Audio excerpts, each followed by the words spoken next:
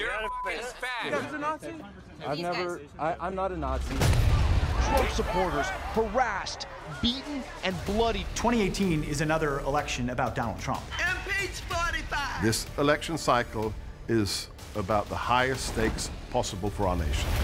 The Democrats have nothing to run on. So they resorted to racist and xenophobe and all these other things. No Trump, no wall, no USA at all.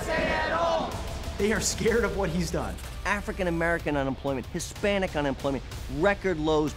Are you suggesting that the entire Trump vote was racist? Yes. The left wants to undo our country. They want to take away the freedoms we have.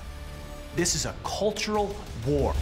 His supporters, what does it say about you? You continue to make excuses for this man for his vile behavior. This is Armageddon. You know, this is tough stuff. We're fighting a war. Exclusively on One America News.